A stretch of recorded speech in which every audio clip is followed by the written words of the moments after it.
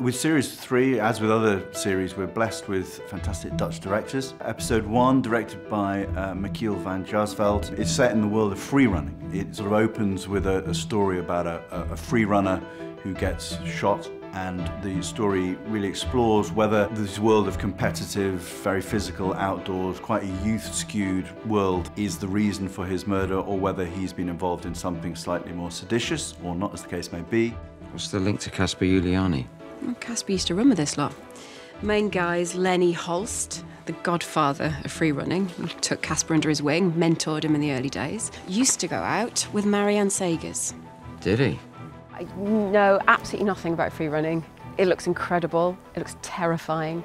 Don't know how they do it.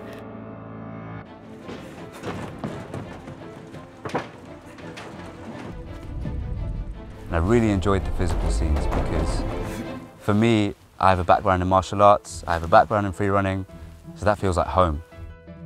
It Takes us into a slightly criminal world of drug dealing, but ultimately the story turns out to be a much more personal tale of envy and family strife.